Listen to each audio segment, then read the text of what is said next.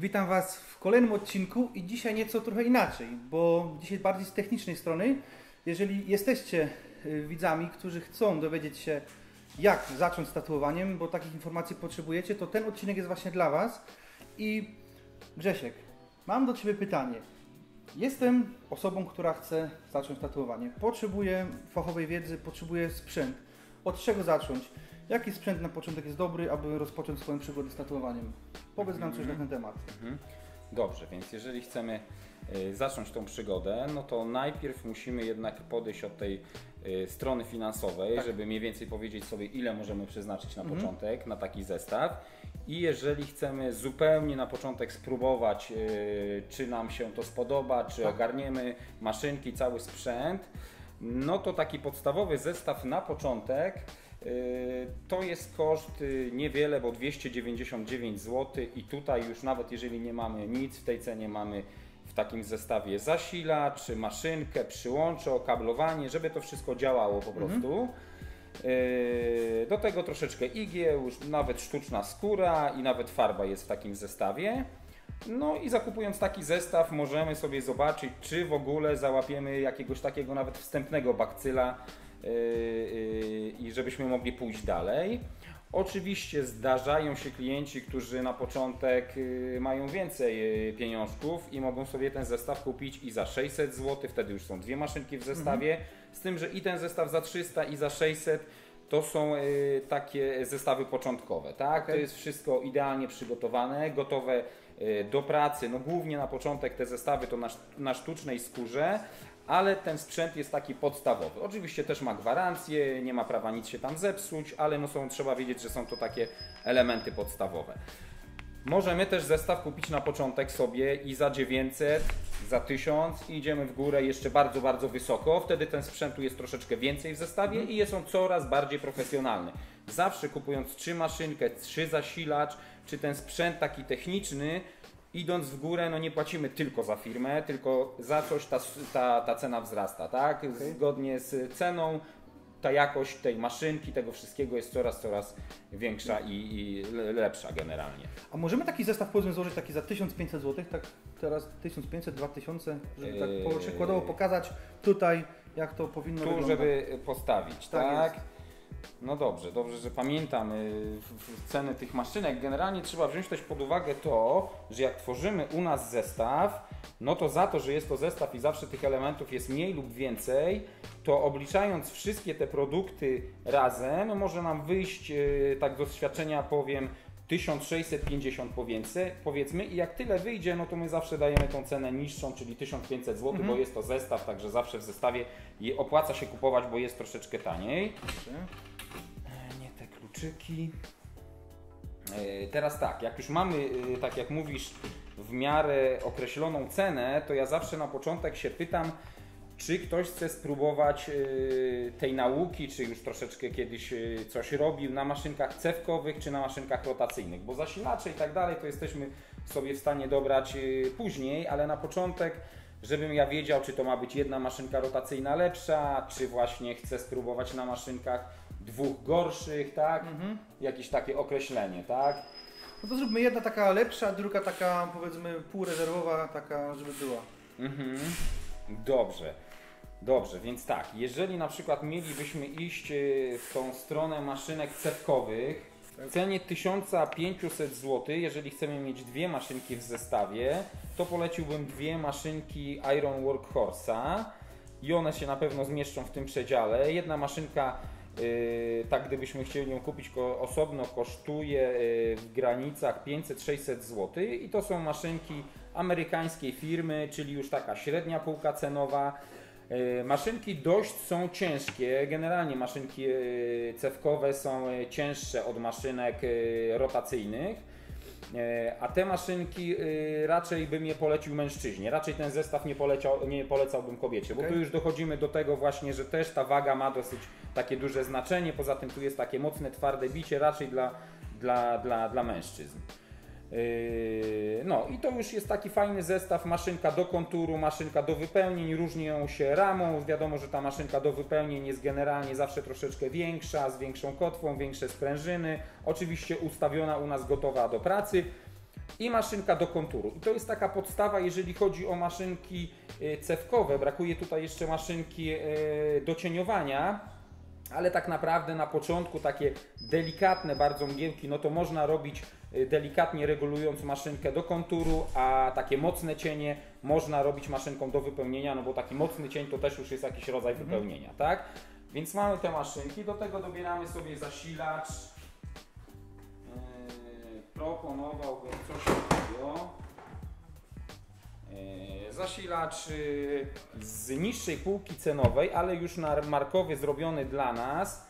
Yy, Cena 259 zł, Pulsar Kubo z podłączeniem na jedną maszynkę, oczywiście z wyświetlaniem zasilania, z płynną regulacją tego napięcia. Tak? A do tego okablowanie,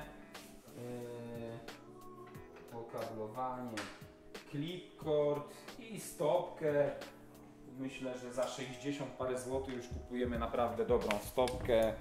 Generalnie stopki yy, rozróżniamy na takie, które konstruuje się w zasadzie blacha, grubsza czy cieńsza, ale blacha o blachę lub bardziej złożone, które już mają jakiś tam system w środku, tak? Te y, blachy o blachę dobre są w tym, że generalnie za bardzo nie ma się co zepsuć, tylko raz na kilka miesięcy po prostu wiadomo, że y, to leży na podłodze, więc zbiera się tam kurz, brud, warto przetrzeć je z papierem ściernym. Tak to generalnie się nie psują. Yy, I tu mamy jakby tą pierwszą część taką podstawową, żeby nam to w ogóle zadziałało gotowe. Tak. Jak już mamy to gotowe, ktoś to zaakceptuje, to zawsze kolejne następne pytanie to jest takie, czy ten ktoś chce pracować na osprzęcie, e, na, na, reszt, na reszcie osprzętu jednorazowym czy wielokrotnego użytku. Wiadomo, że igły oczywiście są wszystkie zawsze jednorazowe i były jednorazowe, ale reszta już nie. Tutaj ten uchwyt, tuba, rura i jeszcze parę innych nazw ma. Chodzi tutaj o tą prowadnicę igły. Może być albo jednorazowa, albo tak naprawdę w pół jednorazowa, bo można założyć gryf stalowy lub al- aluminiowy i do tego dziób jednorazowy, albo całość stalowy i, i gryf, y, czyli rura i dziób, tak?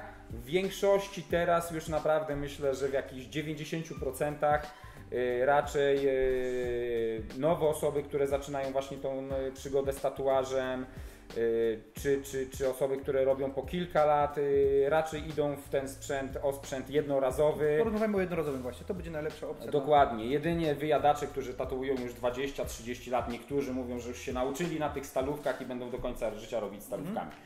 Więc jeżeli właśnie też zazwyczaj osoby wybierają jednorazową, zresztą ja doradzam, żeby wy- wybierać jednorazowy, e, rozmawiałem z wieloma tatuatorami, wiem jak to jest później kłopoty właśnie z sanepidem, czepiają się o te rzeczy, przy jednorazówkach zmniejsza nam to maksymalnie problem, jedynie zostaje, e, że musimy dbać e, o to, żeby mieć atesty do Tak. farb, a tutaj prawda otwieramy przy kliencie, też to inaczej wygląda, jednorazową rurę, igłę i, i, i, i Zdecydowanie to wygląda lepiej, tak? dokładnie tak. Bezpieczniej.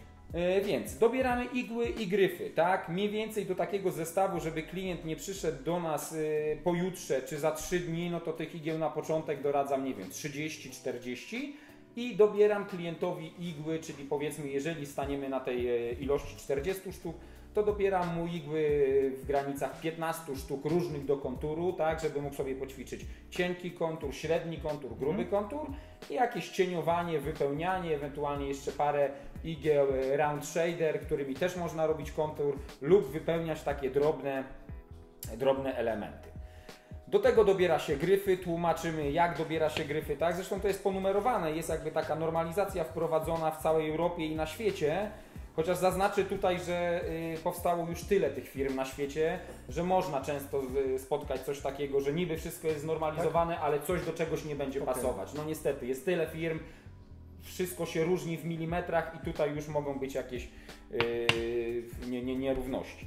No ale generalnie wszystko ma dobrane, rury do igieł, tłumaczę też jak to się zakłada, tak? Yy, łatwo sobie wyobrazić, jak maszynkę mamy już tutaj yy, prawie że całą złożoną, że tutaj będzie przechodziła nam długa igła przez koniec, tak? Tutaj wystawała, podłączamy maszynkę, yy, design maszynki może być przeróżny, tak? No ale zawsze to są, też nie zawsze, zdarzają się tam jakieś jedno i trzycewkowe widziałem w życiu, ale generalnie no, w 99% są to dwucewkowe. Podłączamy ją, tutaj z reguły jest taka tuba z otworem i tutaj do ramy. Przy clipcordzie nie ma to znaczenia, czy to włożyłem w ten sposób, czy odwrotny. i podłączamy dużym jackiem do zasilacza. To jest raczej znormalizowane, jedynie chyba Cheyenne jakby ma y, troszeczkę inne te y, włączniki, przejściówki, y, ale tak to zasilacze na całym świecie po prostu jest duży jack i maszynka cewkowa to jest clipcord, tak? Okay. Po podłączeniu tego podłączamy stopkę, włączamy stopkę, maszynka zaczyna chodzić, regulujemy sobie napięciem, wtedy jakby no czym więcej tej napięcia damy, ta maszynka będzie miała większą siłę, czym mniej napięcia, mniejszą siłę. Oczywiście regulacja maszynki też jest, odkręcamy śrubę kontrującą i zwiększamy albo zmniejszamy y, skok. To jest oczywiście takie podstawowa regulacja, bo cała regulacja to naprawdę długi temat maszynki, żeby ją rozebrać i złożyć z powrotem, żeby dobrze działała. To mamy, to mamy, aha. Zakładamy tą igłę, Gumka jeszcze tutaj dochodzi taka podobna do recepturki, aczkolwiek jest troszeczkę z innego materiału, bo recepturka by nam się zerwała. Po kilku chwilach gumki muszą być termoodporne z dużo większą zawartością ilości kauczuku. I tyle, tak? Jeszcze tylko chciałem powiedzieć tutaj bardzo często pytają klienci, ile ta igła ma wystawać z tego gryfu, bo regulacje wysunięcia na zwykłych igłach no nie mamy już w tych bardzo zaawansowanych gryfach, że możemy sobie tutaj regulować klikając, tylko musimy, prawda, albo wsuwając gryf, albo go wysuwając będziemy zmieniać te wysunięcie igły. Nie ma książkowo powiedziane, ile ona ma wystawać, tak? Są osoby, które lubią pracować na dużo wystającej igły, są osoby, które pracują na mniej wystającej igły. Tak samo ten skok tutaj, skok to jest y, dokładnie odległość kotwicy, kotwy przez niektórych nazywaną, do y, pierwszej cewki. To jest zawsze pierwsza cewka, okay. to jest druga. I to jest ta odległość. I też nie ma książkowo powiedziane, ile ma być tej odległości. Niektórzy lubią pracować na dużym skoku, niektórzy na małym, w zależności też od maszynek i wielu innych. Y, no i to jest taki nasz podstawowy zestaw. Do tego y, całego sprzętu, tak jak mówiłem, dochodzą farby, kubeczki są mniejsze, większe. Y, od razu może dwa słowa o farbach. Jest tutaj około 500, nawet ponad już teraz 500 różnych kolorów, różnych firm. Yy, no i podstawowe pytanie takie pada, bo każdy chce zacząć od najlepszej e, tak. firmy. No nie ma czegoś takiego. U nas farby muszą się sprzedawać, powiem tak pokrótce, to też od strony właśnie finansowej, że jedna taka buteleczka kosztuje 50 zł, a każda butelka ma termin ważności, tak? Tak. Więc jakbyśmy mieli 100 farb mhm. albo 200 jakiejś firmy, która się by nie sprzedawała, no to łatwo sobie pomnożyć, jakie to by były straty. Więc no, od dawna wyeliminowaliśmy firmy, które się nie sprzedają, no bo mówię, są daty ważności, te wszystkie farby muszą cały czas się sprzedawać, więc, więc sprzedają się różnie. No kiedyś najbardziej znane, ktokolwiek liznął troszeczkę yy, od strony tam tatuażu, czegokolwiek, to wie, że Intense i Eternal, ale teraz coraz bardziej yy, yy, dochodzi tutaj Quantum i World Famous. To są myślę takie cztery największe, największe siły. Jeżeli chodzi o kolory, bo jeszcze są na przykład różne inne farby, które się tylko specjalizują w czerni, której tak naprawdę najwięcej schodzi podczas tak, tatuażu. E, to są firmy Dynamic, Pantera, Sunskin, Kurosumi, e, Silverback bardziej już idzie w takie e, cieniowanie, specjalizuje się w, w różnych odcieniach szarości. Dobrze, więc to mamy. Kolejna sprawa to jest, jak już y, sobie to tutaj wszystko potrenowaliśmy, no to chcielibyśmy spróbować zazwyczaj na jakiejś żywej skórze. Dochodzi nam wtedy y, przede wszystkim bardzo ważna sprawa, czyli dużo bardziej przywiązywanie uwagi do higieny, tak, no bo mhm. Sztuczna skóra, czy tam, prawda, możemy stosować świńską skórę, czy banana, no to banana, nie świńska skóra nam nie będą narzekać, że, że nie ma higieny, a już taki żywa osoba chciała, żeby to było super zdezynfekowane. Więc uczymy się tego wszystkiego. Na początek jest, yy, są różne produkty różnych firm. Każda firma mówi, że jest najlepsza, ale generalnie środki, płyny do odkażania skóry. Yy, skórę trzeba też przygotować, czyli yy, ogolić. No i jeszcze później następna sprawa o tej higienie, której powiem, no to przychodzi nam yy, przeniesienie wzoru. No bo jednak myślę, że w 90% E, jak ktoś nie rysuje z wolnej ręki, właśnie to przenosimy jakiś wzór, tak? Ten wzór możemy teraz przenieść na wie, wie, wieloraki sposób, bo są już specjalne urządzenia najnowszej e, tutaj technologii, które sobie drukujemy od razu na kalce, którą możemy przenieść na skórę właśnie z komputera, okay. ale myślę, że jeszcze do tej pory jednak najczęściej stosowana jest kalka hektograficzna e, i najczęstszym sposobem właśnie przenoszenia tego wzoru to jest dobra kalka hektograficzna którą kładziemy i tu też jest, jest kilka sposobów. Jeżeli kartka, na której mamy wzór, nie jest jakaś pogięta, zbyt twarda, a miejsce, na które będziemy przenosić wzór jest takie ogólnodostępne, jak na przykład ręka, to prosto z tej kartki możemy ją położyć. Tu wyobraźmy, że to jest ta kartka, przekładamy i tutaj już nie potrzeba żadnego pisaka z tuszem hektograficznym. Na początku często osoby się pytają, czy to musi być specjalny pisak. No nie, bo tu już mamy kalkę hektograficzną, więc tu bierzemy zwykły długopis, odrysowujemy prawda, ten wzór i tu na odwrocie tej kartki właśnie mamy już odbity wzór. Tą część ciała mamy przygotowaną, co przed chwilą powiedziałem, do tej pory. Wtedy, jak ona już jest odkażona i yy, ogolona, stosujemy jeszcze jakiś płyn. Kiedyś, jak nie było, no to stosowali niektórzy dezodoranty. Teraz już te, powstało mnóstwo różnych firm, które się specjalizują właśnie w specjalnych żelach, płynach, bo są gęstsze i rzadsze, które smarujemy tą odbitą właśnie e, odbitym wzorem na kartce przykładamy, czekamy zazwyczaj kilkadziesiąt sekund, powoli odrywamy. Co ważne, sprawdzamy, czy wzór się dobrze Tak. odsuł. Niech osoba idzie do lustra i poogląda się nawet 10 minut, czy ta, tak ma mniej więcej zarys wyglądać. Jeżeli ona to akceptuje, no to przystępujemy do tatuowania w taki sposób, że już wtedy smarujemy wazelinę, mamy tą farbę przygotowaną. Yy, podczas tatuowania używamy najprostszych ręczników, nikt niczego najlepszego nie wymyślił. Najprostsze ręczniki, oczywiście to nie muszą być ręczniki, znaczy nie mogą być ręczniki takie papierowe, szare, najtańsze, tak? Tylko kupujemy no takie już z, dobry, z dobrego materiału. Yy, I tyle, tak? A wracając jeszcze, no właśnie, no bo sprzętu czy robimy, konkretnie. czy robimy maszynkami y, cewkowymi, y, czy rotacyjnymi, to raczej późniejsza część, część dbania o tatuaż, czy przenoszeniu wzorów się nie różni, tak? E, różni się tylko czym wykonujemy ten tatuaż. E, I tutaj wymieniając te maszynki na maszynkę, e, e, cewkowe maszynki na maszynkę rotacyjną, Okej. mniej więcej koszt będzie taki sam, ponieważ wybiorę maszynkę rotacyjną Zenit, która jest e, mniej więcej kosztuje tyle co dwie te maszynki, tak? Okej. Czyli mniej więcej zostajemy w tym samym przedziale cenowym. E, Maszynki rotacyjne dzielą się również na maszynki do konturu, do cieniowania, do wypełniania, ale temat jest bardziej złożony, bo teraz e, w Polsce, w Europie, na świecie jest tyle rodzajów maszynek rotacyjnych e, i różnych tych e, sposobów przejść na jakby silniczek z reguły zawsze nam końcową fazę ruch obrotowy daje. I później przejść z tego na ruch taki, który wprawia w tą igłę czy popychacz, y, o którym będzie pewnie szansa później powiedzieć, w ruch idealnie posuwisto zwrotny, no to jest mnóstwo tych y, patentów i rodzajów. Co firma ma swój patent, tak? Także ciężko będzie o wszystkim powiedzieć.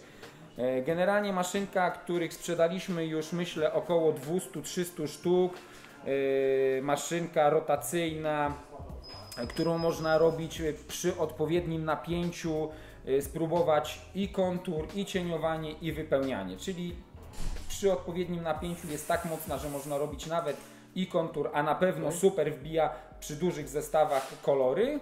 Yy, A niektórym bardziej dopasowała do cieniowania, tak? Sprzedajemy już ją tam przez y, ponad rok czasu, więc y, opinie są y, różne. Jednym y, bardziej przypasowała do koloru, drugim do cieniowania i tak dalej. Ale ją na początek polecam, bo na pewno wszystko można nią spróbować, oczywiście zakładając odpowiednią igłę i odpowiedni gryf y, do tego. Mm, I tyle. Myślę, że nie miałbym tutaj co zaczynać Tak. o innych Nie, maszynkach już tak rotacyjnych, bo to jest bardzo szeroki, szeroki, szeroki temat. Tutaj jeszcze tylko powiem, że osprzęt zostaje ten sam. Jedynie co wymieniamy, nie będę mówił tu o jakichś wyjątkach. Pomijając wyjątki, to do maszynek rotacyjnych stosujemy kabel też z dużym jackiem, aby pasował oczywiście do zasilacza. Jedynie clipcord wymieniany, wymieniony jest na RCA. RCA są różne, może być taki tutaj z końcówką prostą, może być z boczną i w ten sposób podłącza się go troszeczkę prościej.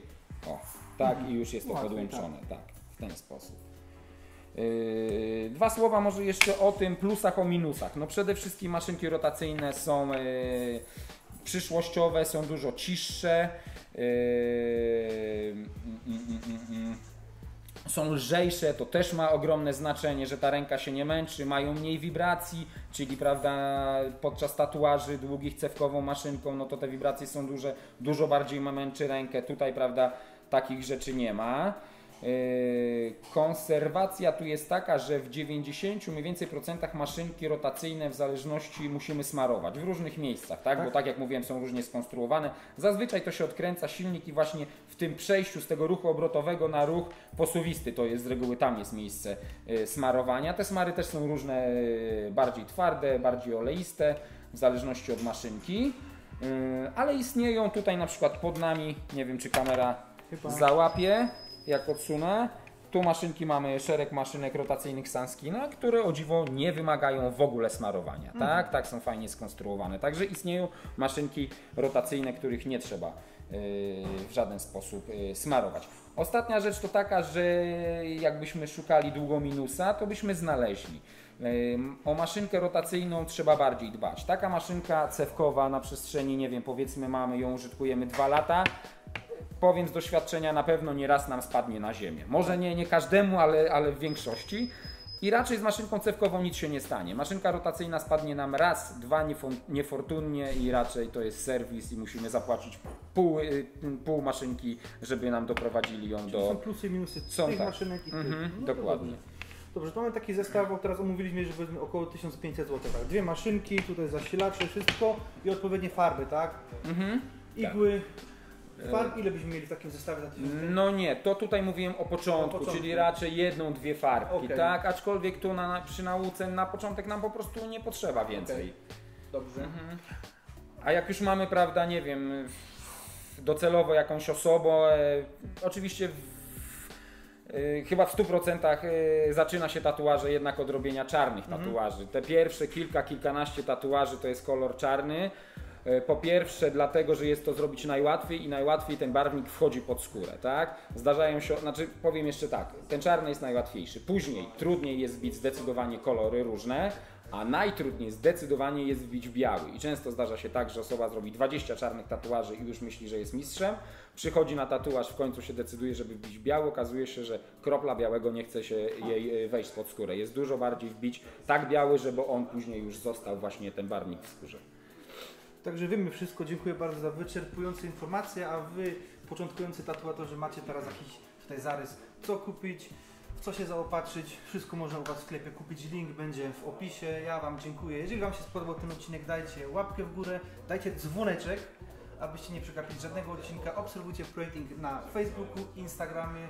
No i trzymajcie się. Dzięki. Hej.